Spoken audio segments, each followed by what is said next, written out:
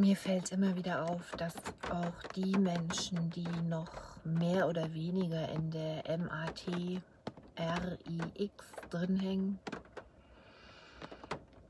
absolut ihre Prozesse haben. Natürlich sind die sehr individuell. Ich meine, sie hängen da drin, mehr oder weniger, und das ist natürlich unbewusst. Wäre es bewusst, wären sie ja da so nicht mehr verstrickt und eingewoben. Dennoch laufen die Prozesse.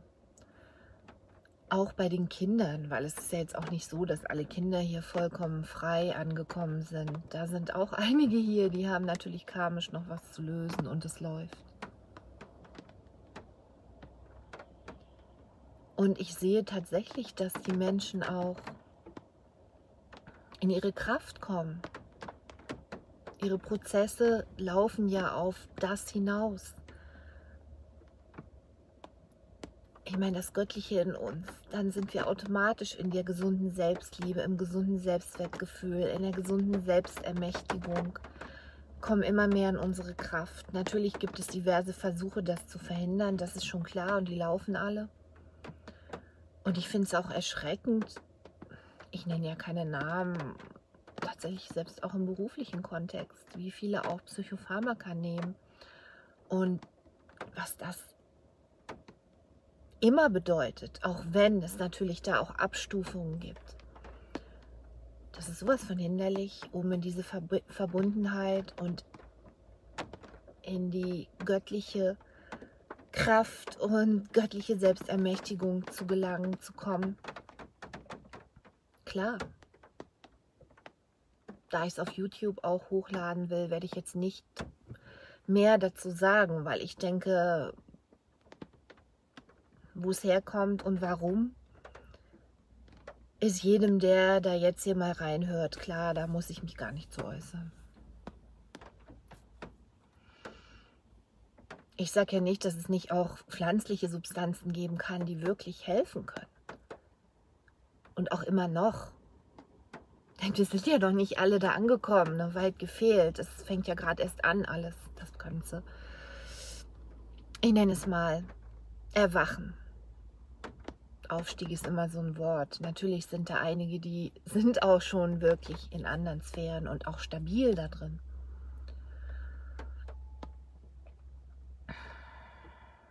in höheren. Also ich rede jetzt ja nicht von dem da drunter.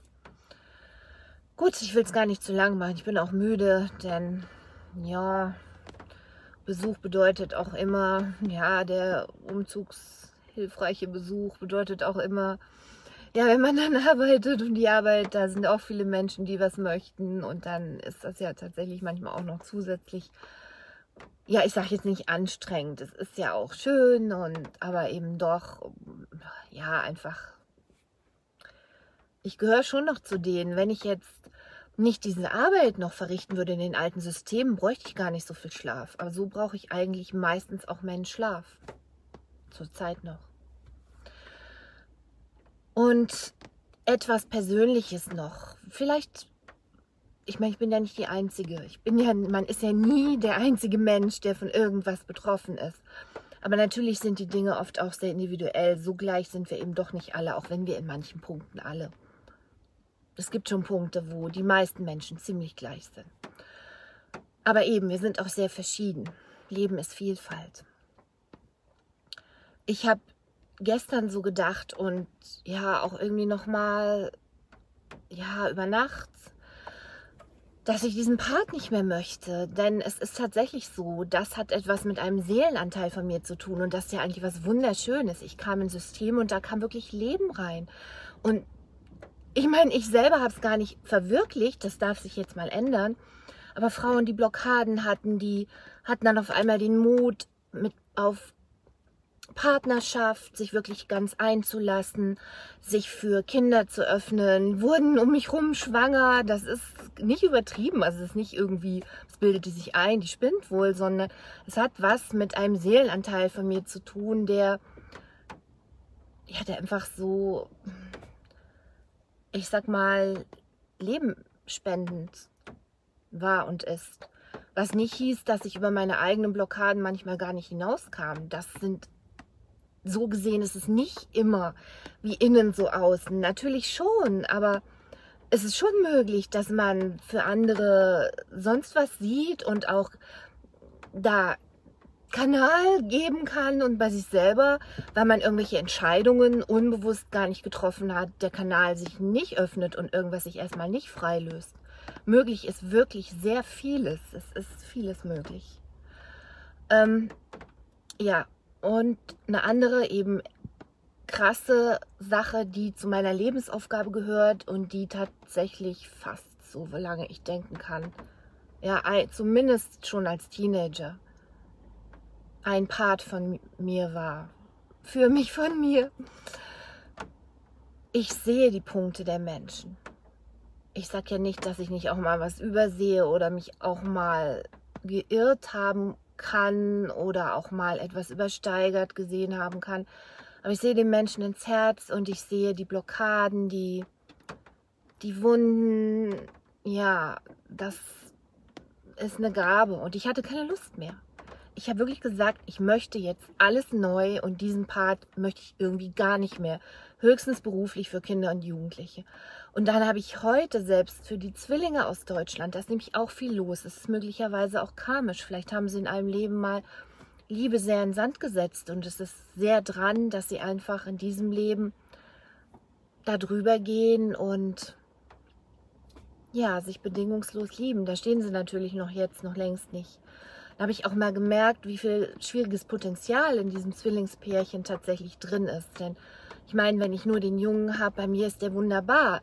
Wieder auch ein Zeichen, wie ein Kind, was schwierig, schwierig, schwierig, der Böse, der Böse, der Böse. Bei einem Menschen, der ihn annimmt, der dieses goldene Potenzial in ihm sieht, der ihm liebevoll und annehmend begegnet, aber auch liebevoll bestimmt Grenzen setzt, wie er da ein ganz anderer ist.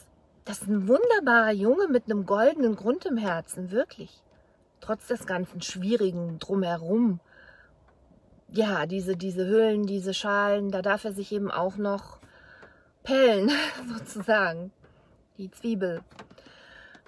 Ja, aber ich habe eben auch gesehen, jetzt einfach in der Konstellation miteinander und das war für mich so ein Zeichen, wenn es die Lebensaufgabe ist, dann ist es einfach auch nicht richtig und nicht dran, einfach zu sagen, ich habe keine Lust mehr. Aber der schöne Unterschied ist, auch wenn man eben jetzt Kanal ist, und ich glaube, dass das nicht nur mich betrifft, man hängt nicht mehr so drin, man wird nicht mehr so reingezogen. Ich trage nichts mehr mit aus. So wie früher tatsächlich, oftmals. Es bleibt auch nichts mehr in mir hängen oder so es ist eben einerseits außerhalb von mir, aber andererseits, ich meine, eins sein, ja. Diese Trennung ist Illusion. Einsheit, all eins. Aber es geschieht eben tatsächlich, ich sag mal, ohne dass ich Stress bekomme. Das ist eine ganz andere Qualität jetzt schon, wenn ich sozusagen die Dinge sehe und sie dadurch ihre Punkte auch mehr und mehr zeigen. Und zwar nicht nur Kinder, Jugendliche, Erwachsene, Menschen einfach. Und dadurch aber auch da hinschauen können. Und dann Freilösungen, die Blockaden auch fallen können. Licht da reinkommt und Bewusstheit, Erwachen dann ist es einfach so, ich meine, es muss niemand Danke sagen, aber dass es für mich absolut so abläuft, naja, was ist absolut, aber eben einfach mehr und mehr so abläuft, dass ich nicht mehr Projektionsfläche werde. Genau.